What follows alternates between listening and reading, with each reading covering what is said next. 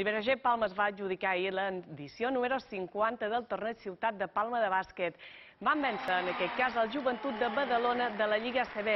L'equip de Fèlix Alonso es va presentar davant l'afició amb una victòria de prestigi. Més de 2.000 aficionats varen gaudir moll d'un triomf que consolida l'ambiciós projecte del club mallorquí. De fet, l'entitat ha batut ja el rècord històric de socis a 1.540 i això que encara falten dues setmanes perquè comenci la Lliga.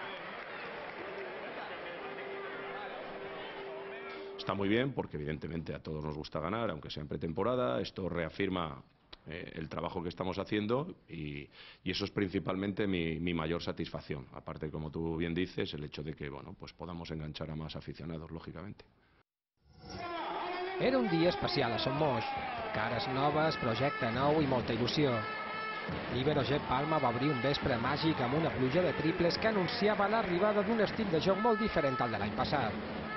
Un parcial de 8 a 0 d'inici va alertar el joventut, que amb la baixa de Quincy Miller va patir molt en atac.